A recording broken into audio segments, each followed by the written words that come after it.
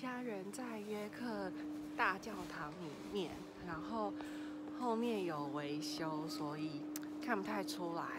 可是我觉得。啊，这边也看得出，这上面有算大窗户，我觉得很漂亮。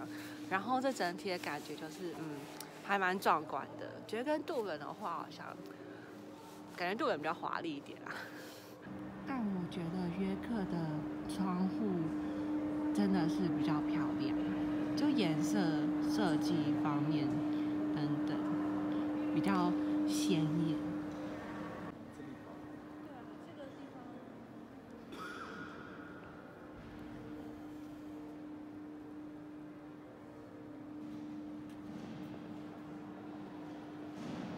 一会儿天就要黑了啊，四点钟天就全黑了呀。